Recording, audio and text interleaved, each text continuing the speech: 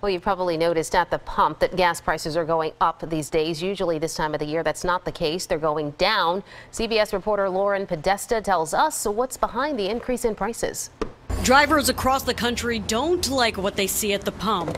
With the prices being really high, it's difficult. Usually, we're starting to see lower prices around this time. Gas prices dropped from a high in May, but have been rising since then. According to AAA, prices are up 39 cents compared to this time last year. Gas prices are generally cheaper in the fall, but this October we're seeing really high gas prices. A lot of factors are playing into that. AAA's Jeanette Casselano says political unrest in oil producing countries and pending U.S. sanctions against oil rich Iran have pushed crude oil prices near a four year high. So you've got higher crude oil prices, you've got concern about global supply related to crude oil, and then geopolitical tensions. Various costs go into the price for a gallon of gas, from refining and marketing to taxes.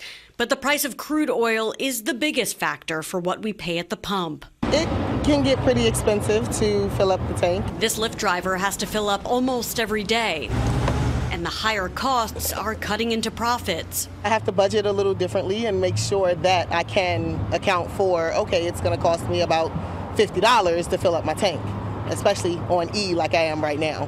AAA expects gas prices to keep rising in the near future, and it's not clear when they'll start going down.